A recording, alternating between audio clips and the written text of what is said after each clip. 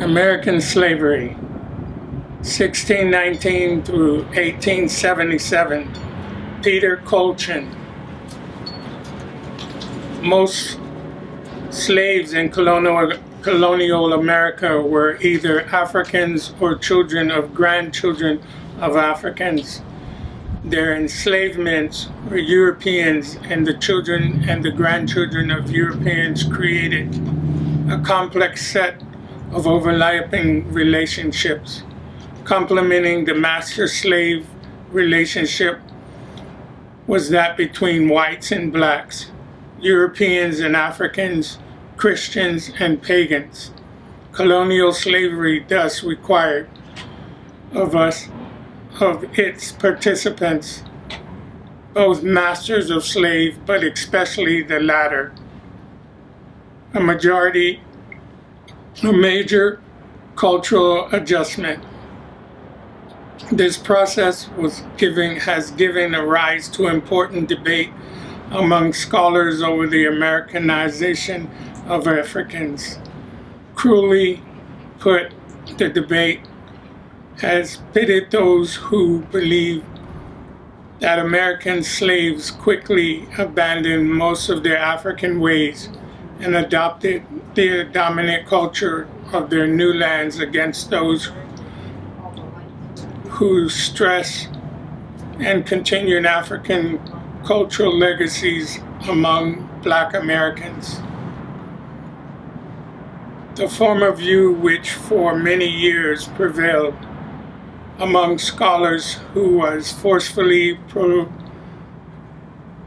propounded by sociologist E. Franklin Frazier, who maintained the probability never before in history has people been so nearly completed stripped of social of its social heritage as the Negroes who were brought to America.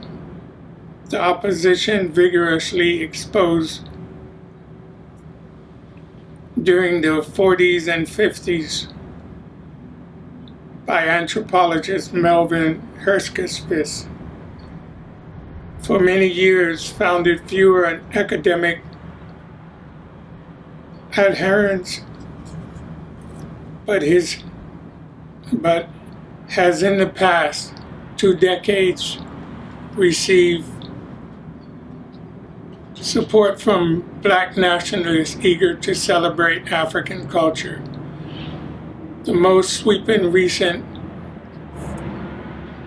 case for the Africans characters of black life in America was made by Sterling Stuckey, who's insisted that down to the Civil War, the great bulk of slaves were securely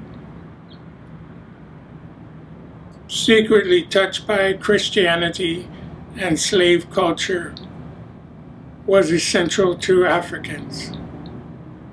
Although this debate is likely to continue, for it is fueled by ideologist passions.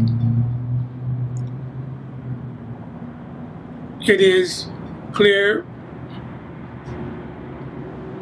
by now the Africanization versus slavery survival documentary is misleading.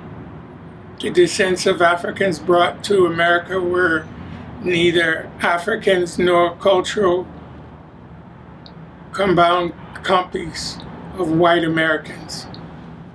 They were influenced and turned influenced by the behavior of their masters but their customs, beliefs, values, and distinctive because so too was the history on the basis of shared experience as slaves, together with a common African background that created a new African American culture.